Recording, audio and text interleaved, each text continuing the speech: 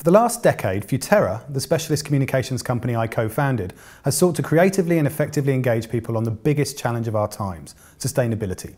During this time, we've delivered almost 500 projects, worked on five continents, and our work has touched literally millions of people. What follows are some of the key insights from what we have found really works to deliver behaviour change over the last 10 years.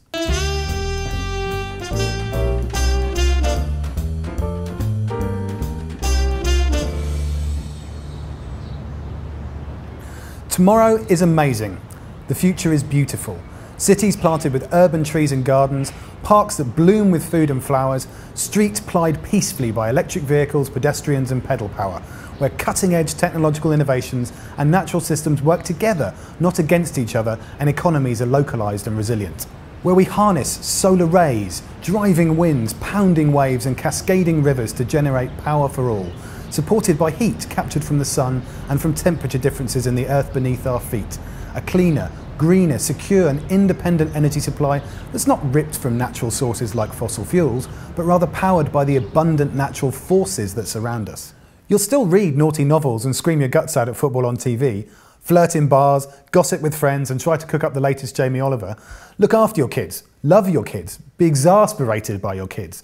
Love, laughter, sex, status, and arguments about it all stay in the mix. Good people, bad people, risk and fun are all still happening, but against a background of environmental balance. It's a powerful, positive vision for the future that embraces both people and nature, our ecology and economy, and our cultures and identities in a changing climate.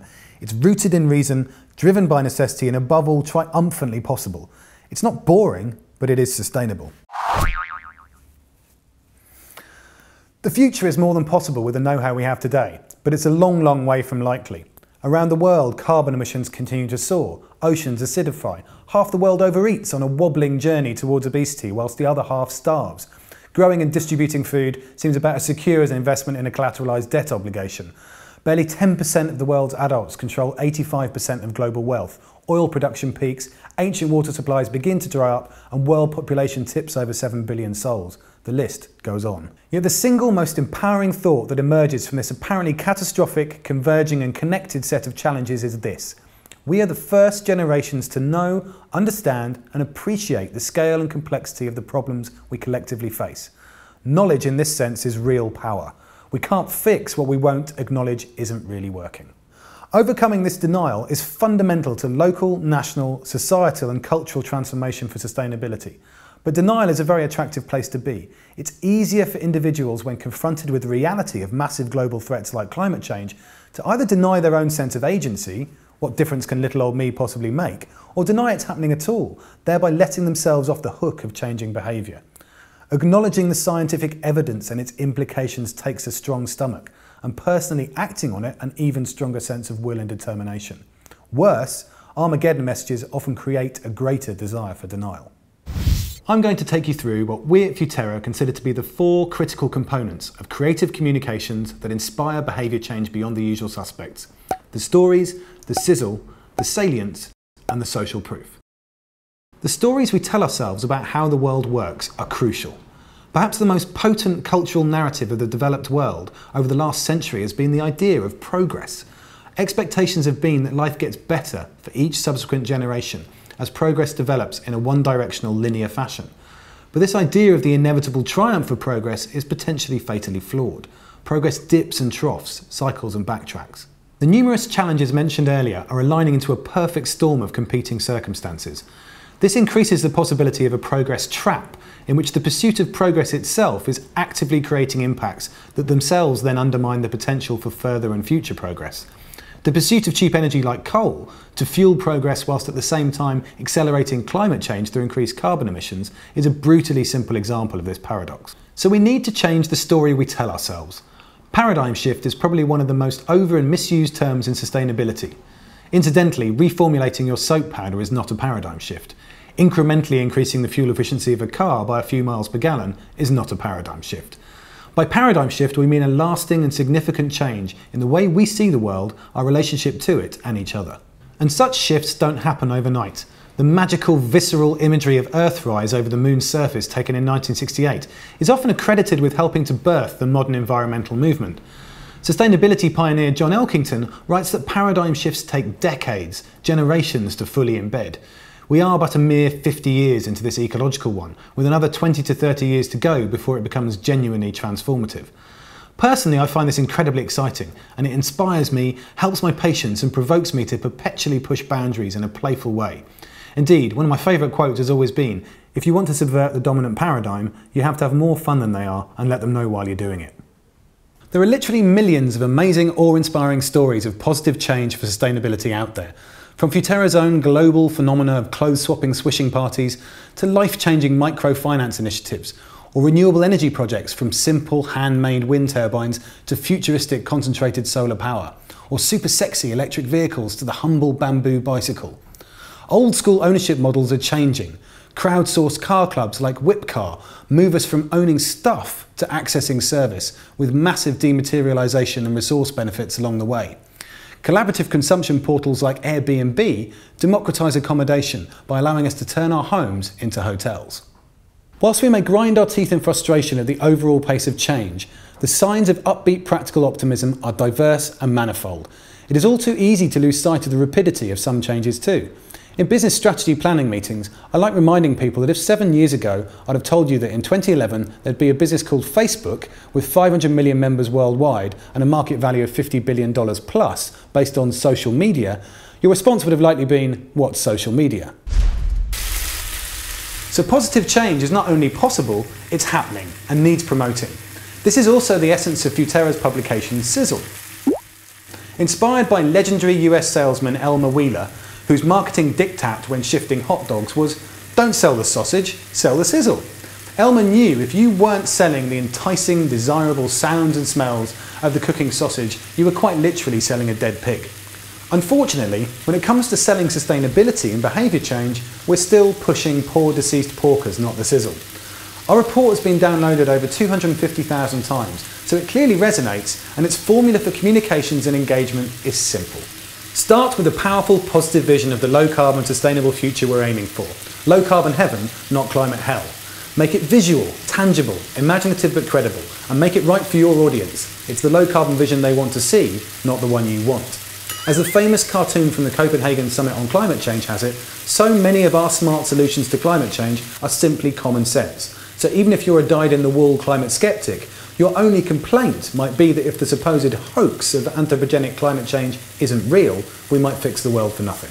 Once a compelling vision of the future is established in your audience's mind's eye, then you can follow up with the tough choices of what's at stake, the risks of inaction, lack of urgency, business or lifestyle as usual.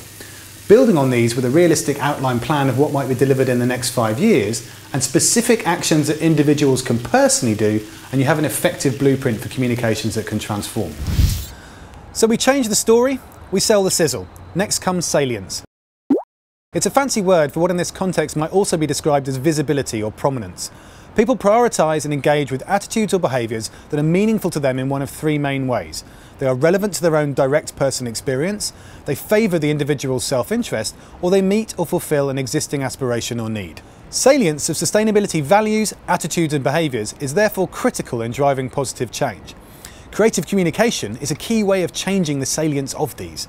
This is usually best done through our fourth component, the creation of social proof. Social proof is about the signals we send to and pick up from each other about what is perceived as normal acceptable behaviour. From the weird ritual of tie wearing, well that's a splendid noose around your neck there may I say, to the tendency to join queues as the presence of people waiting in line might suggest something worth queuing for. We are sociable creatures for whom conformity is important. Social proof is also unconscious. We don't sit there consciously pondering our behaviours, well not often enough anyway, it's largely intuitive. There are three elements of social proof that are crucial for behaviour change. Firstly, the personal. Do I have the knowledge, the awareness, the right attitude, sense of agency, motivation and incentives to undertake the new behaviour? Secondly, the social. What is perceived as normal behaviour? How salient and visible is the behaviour change? And what are the people around me doing, my family, friends or work colleagues? Thirdly, and finally, the infrastructural. Are the right equipment, infrastructure, mechanisms or facilities in place to enable the new behaviour? This can all sound a bit abstract until we see how these different aspects come together to drive behaviour change in the real world.